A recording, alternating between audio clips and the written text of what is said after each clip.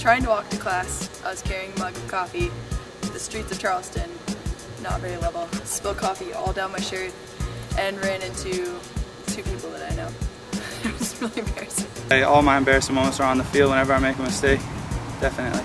Most embarrassing moment? Um, actually, one time when I was racing, a spectator stepped onto the track and I literally bumped right into them. I ran them over.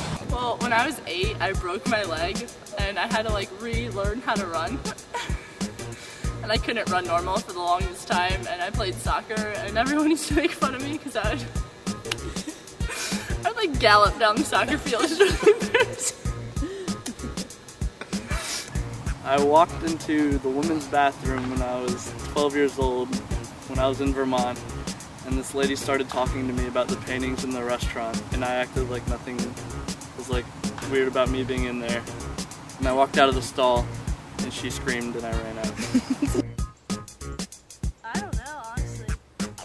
Uh, I'm honestly one of those people where if, the, people are laughing at me, at least they're laughing, so I don't, doesn't really embarrass me. Um, I was in seventh grade and I was walking up these steps near my brother was a sophomore or freshman in high school and he was on uh, the varsity team and they were all sitting up top at, at like in the corner and I was walking up the steps by them and tripped and fell and busted my lip open and so I was pretty embarrassed in front of the juniors and seniors.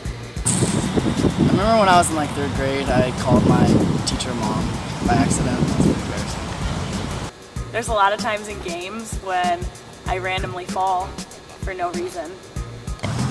Um, probably my senior year, I had we had a meet in Kentucky. It was like the UK track meet, and a bunch of college guys were like working it. And when the gun went off, I kind of got shoved and like fell. And we had to restart the race. So that was pretty embarrassing. Actually, my first ever soccer match for the College of Charleston, I scored an own goal. and uh, we still won the game, but yeah.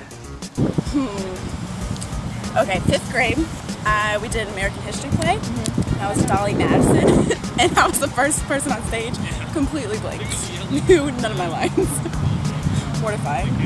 I think recently was probably when I was on the plane to come out here. Um, I was asking for milk on the airplane and she didn't have a clue what I was talking about. Like, did not have a clue. And I was just like, milk? Milk? And she was like, no, we don't have milk. I was just like, what? And then a lady next to me was like, it's cream here. But everyone was turning around and staring. So Most embarrassing moment was last year. I was on my bike headed to like our third day of preseason practice, and I fell off my bike and rolled my ankle. I pulled a muscle in my arm Wii bowling. Yeah, so that, that's, that's pretty embarrassing.